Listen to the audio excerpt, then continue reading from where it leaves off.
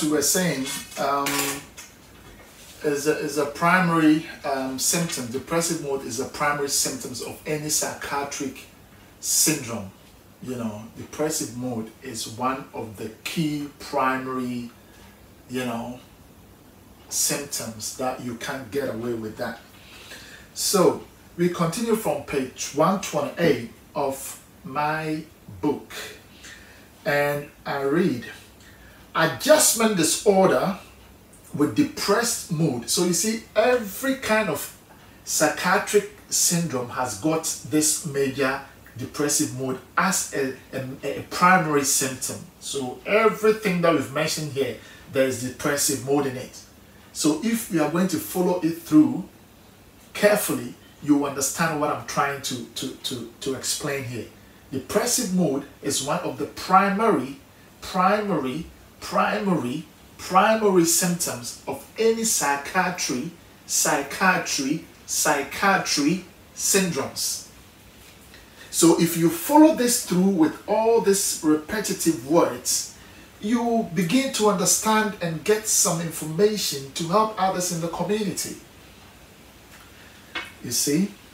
So adjustment disorder with depressive mood is a mood disturbance appearing as a psychological response to an identifiable event or stressor in which the resulting emotional or behavioral symptoms are significant but do not meet the criteria of a major depressive episode. And post traumatic stress disorder and anxiety disorder that sometimes follow trauma is commonly accompanied by depressive mood. So you see, We've mentioned bipolar, we've mentioned personality borderline disorder, we've mentioned post-traumatic stress disorder. It all have the same common denominator, common factor, which is what? The primary symptoms, which is called what? Depressive mood. All of these things have got depressive mood as a common factor. All the aforementioned disorders which I have mentioned, personality disorder commonly features depressive mood. Post-traumatic stress disorder commonly features depressive mood. All the other depressive episodes that I've mentioned features depressive mood. So if you are going to follow me up in this video series, you understand that depressive mood is one of the primary symptoms of every psychiatry syndromes or every disorder that is effective in terms of psychiatry or psychological effects. So let's go to the management of depression. Let's see what, what they say there. And it's on page 129 a depressed mood may not require any professional depression or any professional treatment, sorry. A prolonged depressed mood, especially in combination with other symptoms, may lead to a diagnosis of a psychiatric or medical condition by a counselor or a doctor, which may benefit from treatment. Different subdivisions of depression have different treatment approaches. So, as I was saying, and I've been saying it over and over again, a prolonged depressed mood, prolonged, excessive, resist, persistent, intrusive, lingers on for a number of years or for a number of months, over six months, even with a depression, strong depressive mood for two weeks. These are some of the, the criteria to determine the diagnosis of that individual. So they are saying that the medical condition as the diagnosis of a psychiatrist, it should be a prolonged because the, the, the ordinary sporadic ones that comes in and goes as depressive mode, low mood, is not going to warrant a diagnosis of depression or depressive or clinical depression. But a prolonged depressive mood, especially in combination with other symptoms may warrant what? Uh, clinical diagnosis. So let's go to mania and see how it goes because it's a combination of fluctuation up and down. Mania. Mania is a state of abnormal or abnormally elevated or irritable mood, arousal, or energy levels. In a sense, it is the opposite of depression. So you see, when it comes to the mania, that is when bipolar is diagnosed because that is when people get abnormal or abnormally elevated or irritable mood, arousal, your mood goes up. Some of them become sexually disinhibited. Some of them become money high, you know, dancing and, you know, doing things that ordinarily they wouldn't do or in their nature they wouldn't do. They tend to do things that are extraordinary.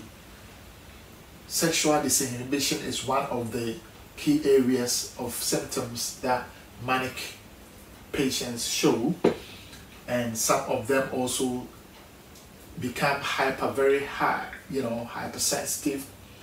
Some are very hyper in activities. They do things. They've got extra energy that is quite the opposite of a low mood.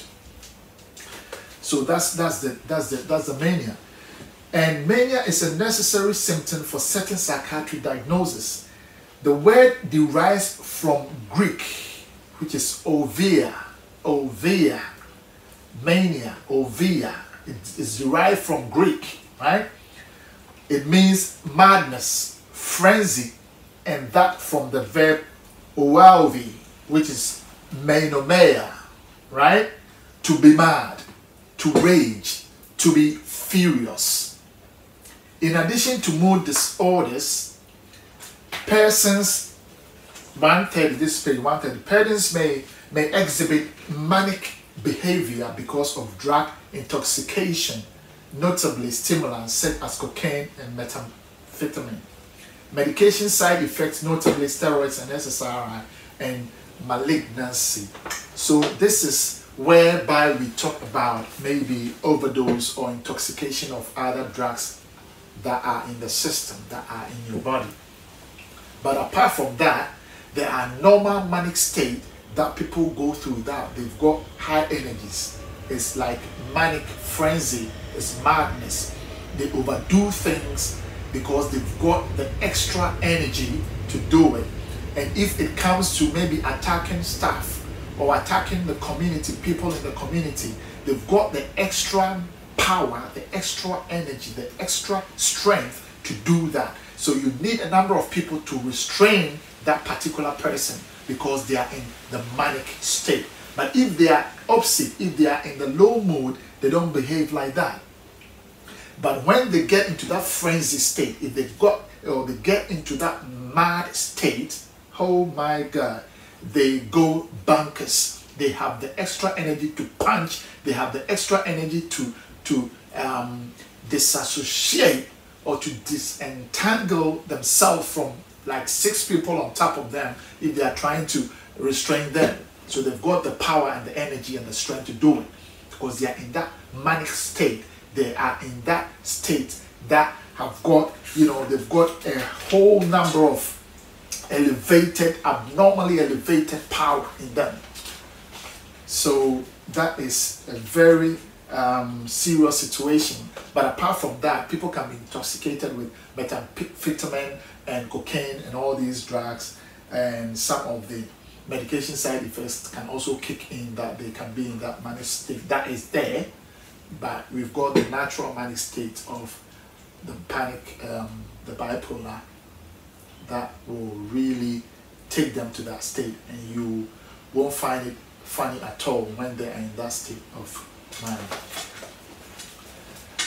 But mania is most often associated with bipolar disorder.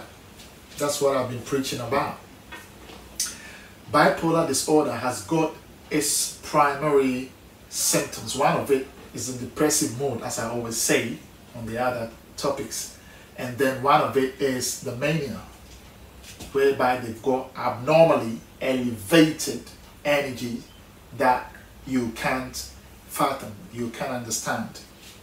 So, where the episodes of mania may alternate with episodes of major depression, so it's up and down as I'm saying. Manic state, depressive state, manic state, depressive state is a very dangerous and very unpredictable um, disorder. So Gelder, Mayou, and Geddes 2005 suggest that it is vital that mania be predicted in the early stages because otherwise the patient becomes reluctant to comply with the treatment. So this school of thought is saying that if it's not predicted in the early stage so that they become compliant with their medication and they wait till it's too late when the manic phase kicks in it's going to be difficult to medicate that person because sometimes we have to give them tranquilizers that will you know um, sort of reduce their strength and something like hypnotics or anxiolytics that is going to put them to sleep a little bit so that they can regain their consciousness in terms of their manic state. So this school of thought is saying that the earlier you medicate that individual when they are diagnosed, the better because you don't want to wait till they get to that manic phase. But when the disease, when somebody is diagnosed with that disease, sometimes the medication works, sometimes it doesn't. When it comes to the manic state, they demonstrate it anyway, with or without the medication. Some of them to respond to treatment and they are able to um, live a happily life and they don't really exhibit that manic trait. And even when they are manic, it's not that effective as those that were not put on medication on time when they were diagnosed because you know they've given the patient the um, the mandate, the authority, because they are their own boss, patient-centered healthcare that we're in. So you make sure that you don't um, go beyond your treatment or you can't force any patient to have any treatment. They have to decide for themselves.